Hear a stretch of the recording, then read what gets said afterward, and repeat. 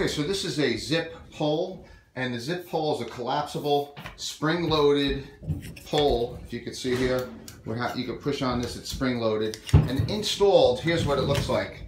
Here is a dust barrier that we install, and the zip pole makes it extremely easy to set up a barrier. Here's the barrier, the plastic, and it will protect. In this case, we have a refrigerator, we have some cabinetry, lower countertops, and uh, base cabinets. And this pole just literally, it locks itself into position. It's uh, It collapses in three sections. You have the upper section to this red ring, this locking ring. There's another locking ring here. So it's three stages.